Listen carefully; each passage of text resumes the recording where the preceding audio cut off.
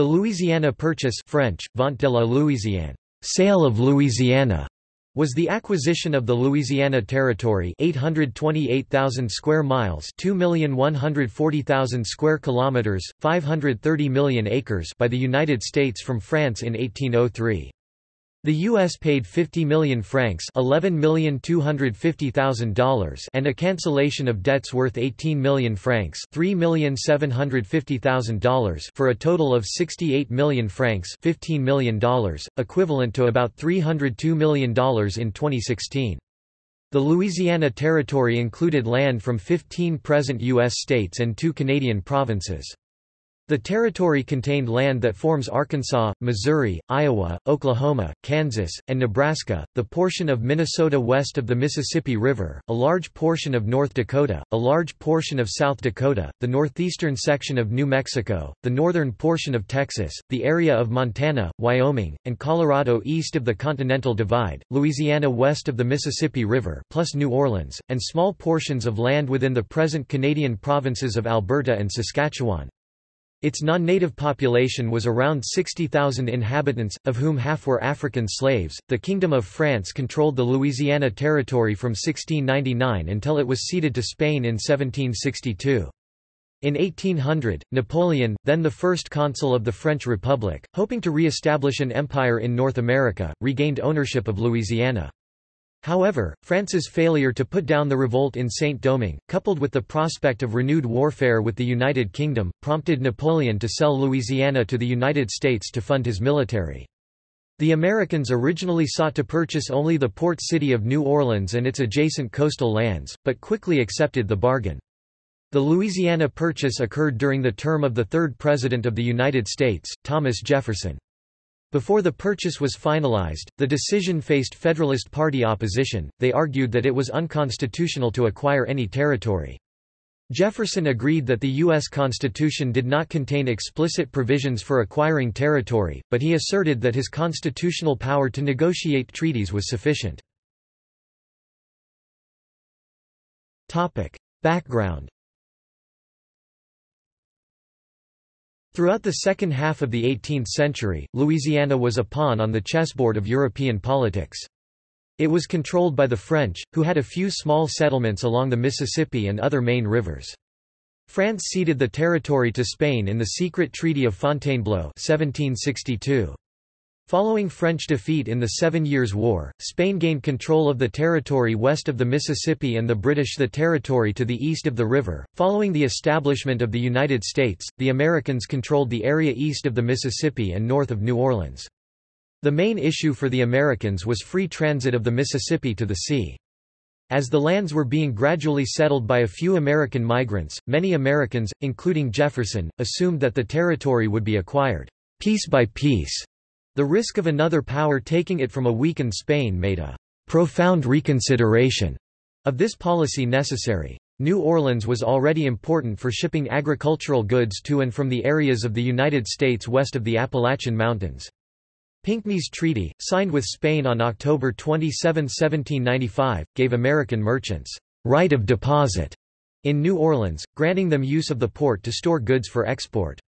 Americans used this right to transport products such as flour, tobacco, pork, bacon, lard, feathers, cider, butter, and cheese.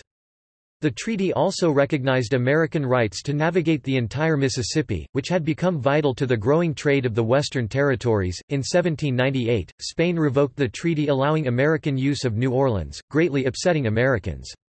In 1801, Spanish governor Don Juan Manuel de Salcedo took over from the Marquis of Casa Calvo, and restored the American right to deposit goods. However, in 1800 Spain had ceded the Louisiana Territory back to France as part of Napoleon's secret Third Treaty of San Ildefonso. The territory nominally remained under Spanish control, until a transfer of power to France on November 30, 1803, just three weeks before the formal cession of the territory to the United States on December 20, 1803. A further ceremony was held in St. Louis, Upper Louisiana regarding the New Orleans formalities. The March 9–10, 1804 event is remembered as Three Flags Day. James Monroe and Robert R. Livingston had traveled to Paris to negotiate the purchase of New Orleans in January 1803. Their instructions were to negotiate or purchase control of New Orleans and its environs. They did not anticipate the much larger acquisition which would follow. The Louisiana Purchase was by far the largest territorial gain in U.S. history. Stretching from the Mississippi River to the Rocky Mountains, the purchase doubled the size of the United States. Before 1803, Louisiana had been under Spanish control for 40 years.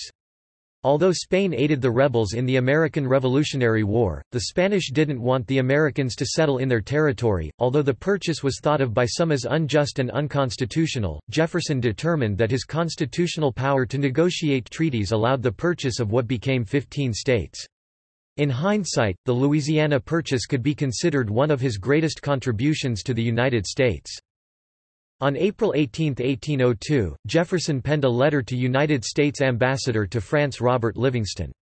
It was an intentional exhortation to make this supposedly mild diplomat strongly warn the French of their perilous course. The letter began, The cession of Louisiana and the Floridas by Spain to France works most sorely on the U.S. On this subject the Secretary of State has written to you fully. Yet I cannot forbear recurring to it personally, so deep is the impression it makes in my mind. It completely reverses all the political relations of the U.S. and will form a new epoch in our political course. Of all nations of any consideration France is the one which hitherto has offered the fewest points on which we could have any conflict of right, and the most points of a communion of interests. From these causes we have ever looked to her as our natural friend, as one with which we never could have an occasion of difference. Her growth therefore we viewed as our own, her misfortunes ours. There is on the globe one single spot, the possessor of which is our natural and habitual enemy. It is New Orleans, through which the produce of three-eighths of our territory must pass to market, and from its fertility it will ere long yield more than half of our whole produce and contain more than half our inhabitants. France placing herself in that door assumes to us the attitude of defiance. Spain might have retained it quietly for years. Her pacific dispositions, her feeble state, would induce her to increase our facilities there, so that her possession of the place would be hardly felt by us, and it would not perhaps be very long before some circumstance might arise which might make the cession of it to us the price of something of more worth to her. Not so can it ever be in the hands of France.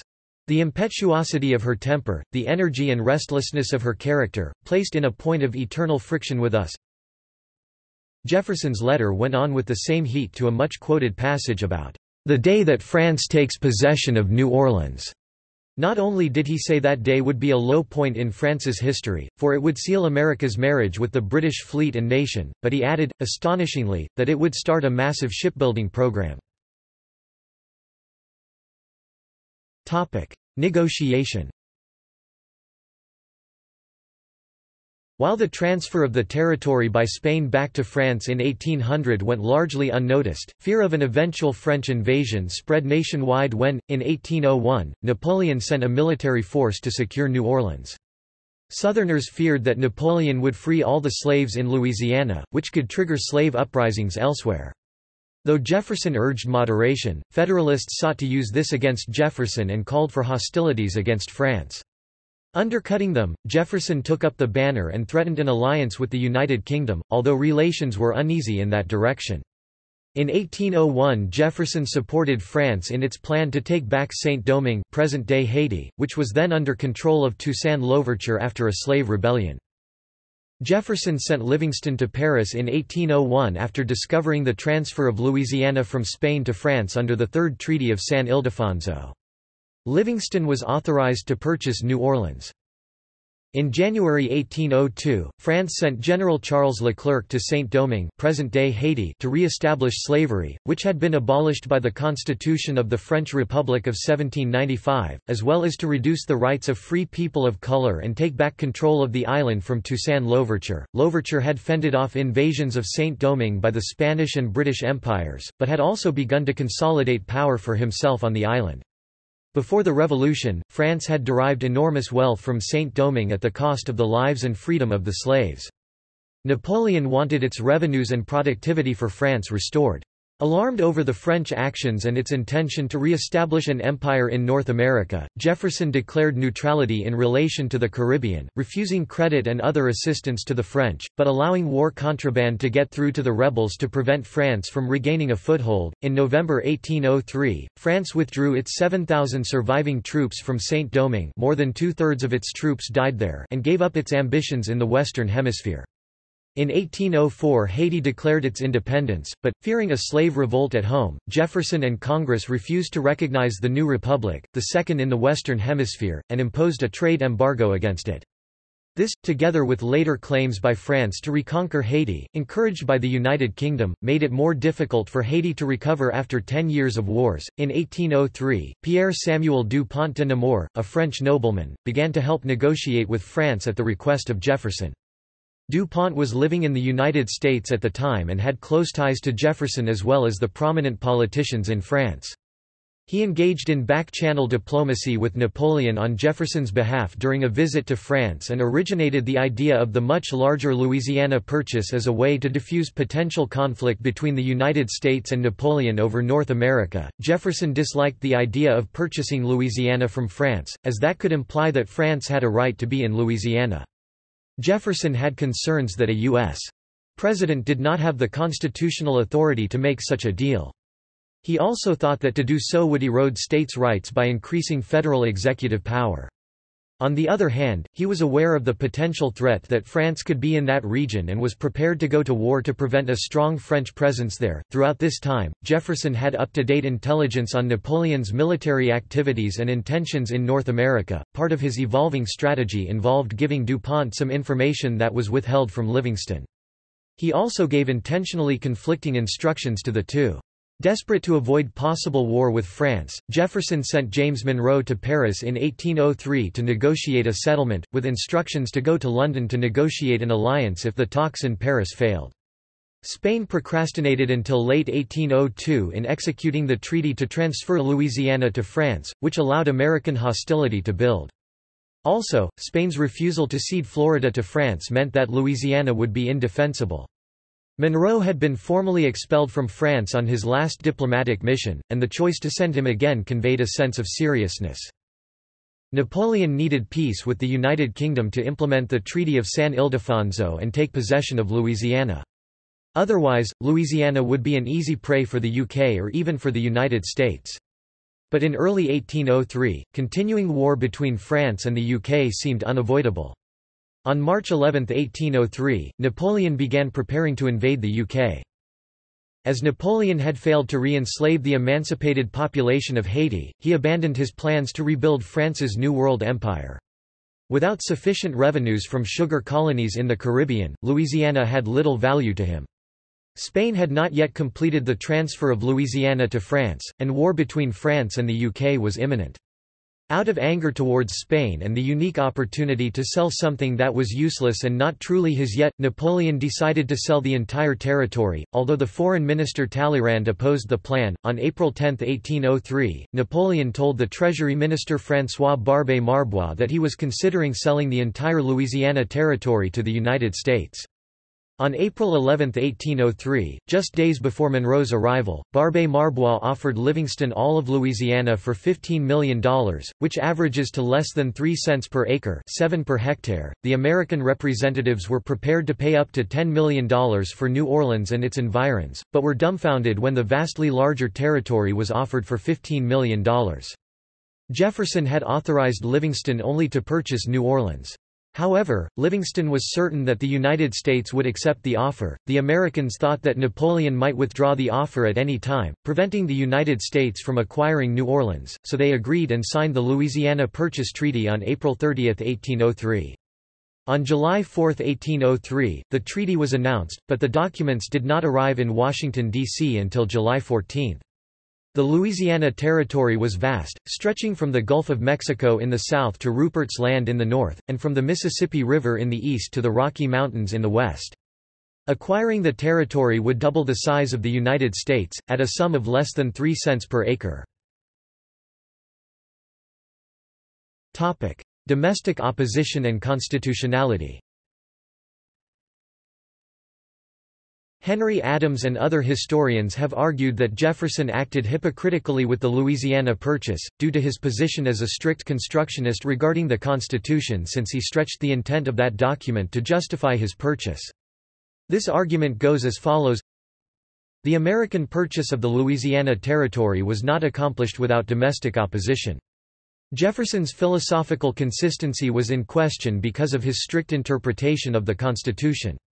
Many people believed that he and others, including James Madison, were doing something they surely would have argued against with Alexander Hamilton. The Federalists strongly opposed the purchase, favoring close relations with Britain over closer ties to Napoleon, and were concerned that the United States had paid a large sum of money just to declare war on Spain. Both Federalists and Jeffersonians were concerned over the purchase's constitutionality. Many members of the House of Representatives opposed the purchase. Majority Leader John Randolph led the opposition. The House called for a vote to deny the request for the purchase, but it failed by two votes, 59 to 57. The Federalists even tried to prove the land belonged to Spain, not France, but available records proved otherwise. The Federalists also feared that the power of the Atlantic seaboard states would be threatened by the new citizens in the West, whose political and economic priorities were bound to conflict with those of the merchants and bankers of New England. There was also concern that an increase in the number of slave-holding states created out of the new territory would exacerbate divisions between North and South as well. A group of Northern Federalists led by Senator Timothy Pickering of Massachusetts went so far as to explore the idea of a separate Northern Confederacy. Another concern was whether it was proper to grant citizenship to the French, Spanish, and free black people living in New Orleans, as the treaty would dictate. Critics in Congress worried whether these Foreigners, unacquainted with democracy, could or should become citizens. The U.S. government had to use English common law to make them citizens to collect taxes. Spain protested the transfer on two grounds. First, France had previously promised in a note not to alienate Louisiana to a third party, and second, France had not fulfilled the Third Treaty of San Ildefonso by having the King of Etruria recognized by all European powers. The French government replied that these objections were baseless since the promise not to alienate Louisiana was not in the Treaty of San Ildefonso itself and therefore had no legal force, and the Spanish government had ordered Louisiana to be transferred in October 1802 despite knowing for months that Britain had not recognized the King of Etruria in the Treaty of Amiens. Henry Adams claimed, the sale of Louisiana to the United States was trebly invalid, if it were French property, Bonaparte could not constitutionally alienate it without the consent of the French chambers, if it were Spanish property, he could not alienate it at all, if Spain had a right of reclamation, his sale was worthless. The sale of course was not «worthless». The U.S. actually did take possession. Furthermore, the Spanish Prime Minister had authorized the U.S. to negotiate with the French government the acquisition of territories which may suit their interests. Spain turned the territory over to France in a ceremony in New Orleans on November 30, a month before France turned it over to American officials. Other historians counter the above arguments regarding Jefferson's alleged hypocrisy by asserting that countries change their borders in two ways: one, conquest, or two, an agreement between nations, otherwise known as a treaty. The Louisiana Purchase was the latter, a treaty. The Constitution specifically grants the President the power to negotiate treaties Art. 2, Sec. 2, which is just what Jefferson did. Jefferson's Secretary of State, James Madison the father of the Constitution, assured Jefferson that the Louisiana Purchase was well within even the strictest interpretation of the Constitution. Treasury Secretary Albert Gallatin added that since the power to negotiate treaties was specifically granted to the President, the only way extending the country's territory by treaty could not be a presidential power would be if it were specifically excluded by the Constitution which it was not. Jefferson, as a strict constructionist, was right to be concerned about staying within the bounds of the Constitution, but felt the power of these arguments and was willing to acquiesce with satisfaction if the Congress approved the treaty, the Senate quickly ratified the treaty, and the House, with equal alacrity, authorized the required funding. As the Constitution specifies, the opposition of New England Federalists to the Louisiana Purchase was primarily economic self-interest, not any legitimate concern over constitutionality or whether France indeed owned Louisiana or was required to sell it back to Spain should it desire to dispose of the territory. The Northerners were not enthusiastic about Western farmers gaining another outlet for their crops that did not require the use of New England ports.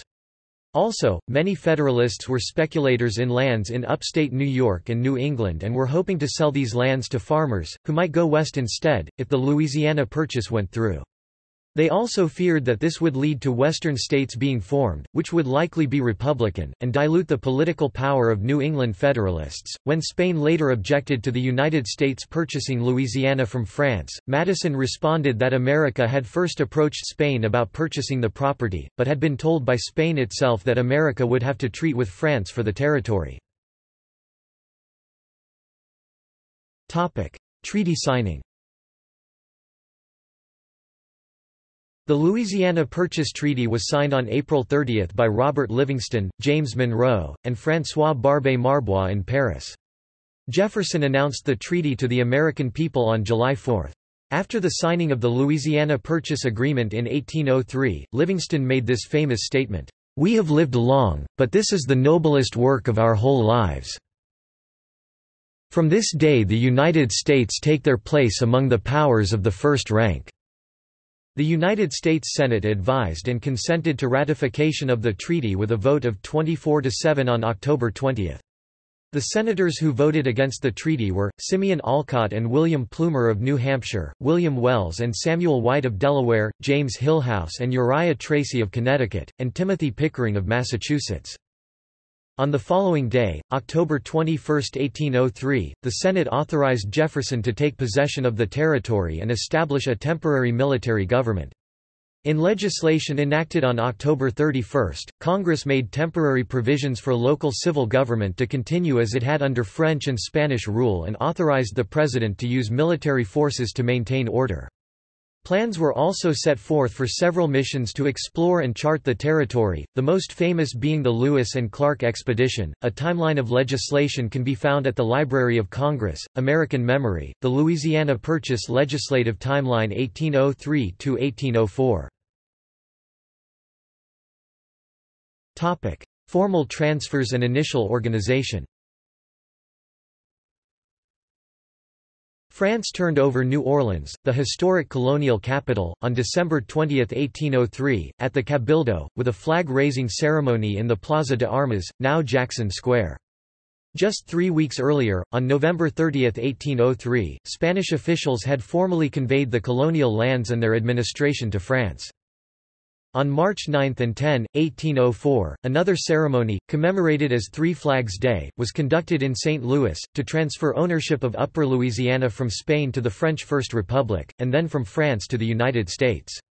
From March 10 to September 30, 1804, Upper Louisiana was supervised as a military district, under Commandant Amos Stoddard. Effective October 1, 1804, the purchased territory was organized into the Territory of Orleans most of which would become the State of Louisiana and the District of Louisiana, which was temporarily under control of the governor and judicial system of the Indiana Territory. The following year, the District of Louisiana was renamed the Territory of Louisiana, aka Louisiana Territory 1805 -1812. New Orleans was the administrative capital of the Orleans Territory, and St. Louis was the capital of the Louisiana Territory. Boundaries A dispute soon arose between Spain and the United States regarding the extent of Louisiana. The territory's boundaries had not been defined in the 1762 Treaty of Fontainebleau that ceded it from France to Spain, nor in the 1801 Third Treaty of San Ildefonso ceding it back to France, nor the 1803 Louisiana Purchase Agreement ceding it to the United States. The U.S. claimed Louisiana included the entire western portion of the Mississippi River drainage basin to the crest of the Rocky Mountains and land extending southeast to the Rio Grande and West Florida. Spain insisted that Louisiana comprised no more than the western bank of the Mississippi River and the cities of New Orleans and St. Louis. The dispute was ultimately resolved by the Adams-Onis Treaty of 1819, with the United States gaining most of what it had claimed in the West. The relatively narrow Louisiana of New Spain had been a special province under the jurisdiction of the Captaincy General of Cuba while the vast region to the west was in 1803 still considered part of the Commandancy General of the Provincias Internas. Louisiana had never been considered one of New Spain's internal provinces. If the territory included all the tributaries of the Mississippi on its western bank, the northern reaches of the Purchase extended into the equally ill-defined British possession, Rupert's Land of British North America, now part of Canada. The purchase originally extended just beyond the 50th parallel. However, the territory north of the 49th parallel including the Milk River and Poplar River watersheds was ceded to the UK in exchange for parts of the Red River Basin south of 49th parallel in the Anglo-American Convention of 1818. The eastern boundary of the Louisiana Purchase was the Mississippi River, from its source to the 31st parallel, though the source of the Mississippi was, at the time, unknown. The eastern boundary below the 31st parallel was unclear. The U.S. claimed the land as far as the Perdido River, and Spain claimed that the border of its Florida colony remained the Mississippi River. In early 1804, Congress passed the Mobile Act, which recognized West Florida as part of the United States. The Adams-Onis Treaty with Spain 1819 resolved the issue upon ratification in 1821. Today, the 31st parallel is the northern boundary of the western half of the Florida Panhandle, and the Perdido is the western boundary of Florida. Because the western boundary was contested at the time of the purchase, President Jefferson immediately began to organize three missions to explore and map the new territory. All three started from the Mississippi River.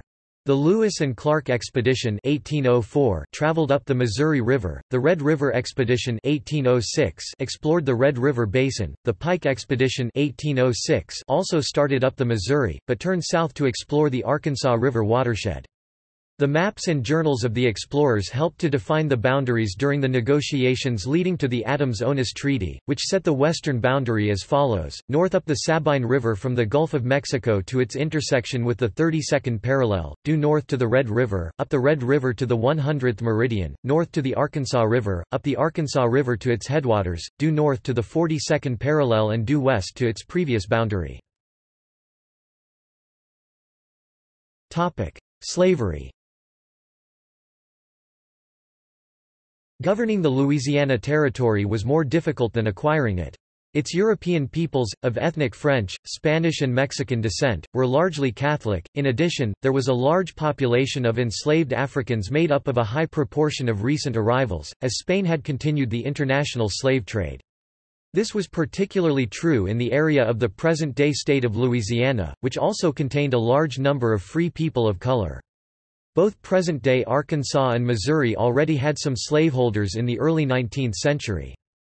During this period, South Louisiana received an influx of French-speaking refugee planters, who were permitted to bring their slaves with them, and other refugees fleeing the large slave revolt in Saint-Domingue, today's Haiti.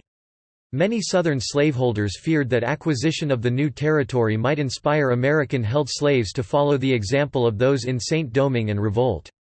They wanted the U.S. government to establish laws allowing slavery in the newly acquired territory so they could be supported in taking their slaves there to undertake new agricultural enterprises, as well as to reduce the threat of future slave rebellions. The Louisiana Territory was broken into smaller portions for administration, and the territories passed slavery laws similar to those in the southern states but incorporating provisions from the preceding French and Spanish rule. For instance, Spain had prohibited slavery of Native Americans in 1769 but some slaves of mixed African Native American descent were still being held in St. Louis in Upper Louisiana when the U.S. took over. In a freedom suit that went from Missouri to the U.S. Supreme Court, slavery of Native Americans was finally ended in 1836. The institutionalization of slavery under U.S. law in the Louisiana Territory contributed to the American Civil War a half-century later. As states organized within the territory, the status of slavery in each state became a matter of contention in Congress, as southern states wanted slavery extended to the west, and northern states just as strongly opposed new states being admitted as slave states. The Missouri Compromise of 1820 was a temporary solution. Asserting U.S. possession After the early explorations, the U.S. government sought to establish control of the region, since trade along the Mississippi and Missouri rivers was still dominated by British and French traders from Canada and Allied Indians, especially the Sauk and Fox. The U.S. adapted the former Spanish facility at Fort Bellefontaine as a fur trading post near St. Louis in 1804 for business with the Sauk and Fox. In 1808 two military forts with trading factories were built, Fort Osage along the Missouri River in western present-day Missouri and Fort Madison along the upper Mississippi River in eastern present-day Iowa. With tensions increasing with Great Britain, in 1809 Fort Bellefontaine was converted to a U.S. military fort, and was used for that purpose until 1826. During the War of 1812, Great Britain and Allied Indians defeated U.S. forces in the upper Mississippi. The U.S. abandoned Forts Osage and Madison, as well as several other U.S. forts built during the war, including Fort Johnson and Fort Shelby.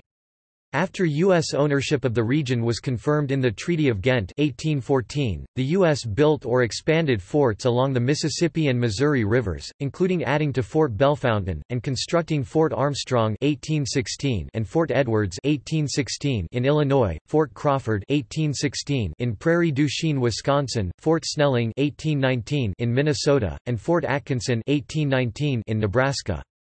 Topic financing The American government used $3 million in gold as a down payment, and issued bonds for the balance to pay France for the purchase. Earlier that year, Francis Baring and Company of London had become the U.S. government's official banking agent in London. Because of this favored position, the U.S. asked the Baring firm to handle the transaction. Francis Baring's son Alexander was in Paris at the time and helped in the negotiations. Another Baring advantage was a close relationship with Hope and Company of Amsterdam.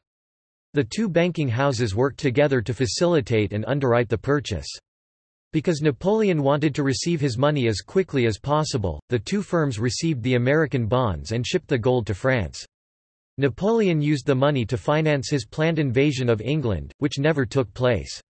Topic see also Alaska Purchase Florida Purchase Corps of Discovery Foreign Affairs of the Jefferson Administration Franco-American Alliance List of French possessions and colonies New France Historic regions of the United States Louisiana Purchase Historic State Park Territorial evolution of the United States Territories of the United States on stamps topic References topic Footnotes topic Works cited topic Further reading topic External links Text of the Louisiana Purchase Treaty Library of Congress, Louisiana Purchase Treaty teaching about the Louisiana Purchase Louisiana Purchase Bicentennial 1803–2003 Asterisk Lewis and Clark Trail Louisiana Purchase and Lewis and Clark Student and Teacher Guide, Dates, People, Analysis, Multimedia New Orleans, Louisiana Purchase 1803 The Haitian Revolution and the Louisiana Purchase Case and Controversies in U.S. History, page 42 Senator Pickering explains his opposition to the Louisiana Purchase, 1803. Booknotes interview with John Kukla on A Wilderness So Immense, The Louisiana Purchase and the Destiny of America, July 6, 2003.